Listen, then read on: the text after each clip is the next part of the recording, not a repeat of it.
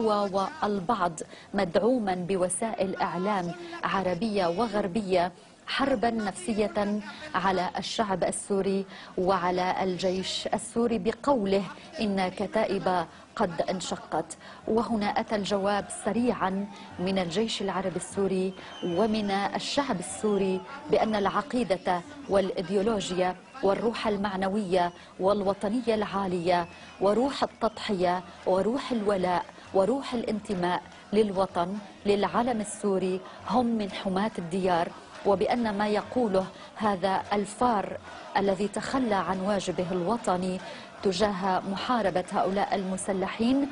عار عن الصحة تماما وإن هذه الحرب النفسية قد مورست منذ بداية الأحداث حتى هذه اللحظة. وأكبر دليل على أنها لم تلقى آذانا صاغية صمود الجيش العربي السوري وقوى الأمن وقوات حفظ النظام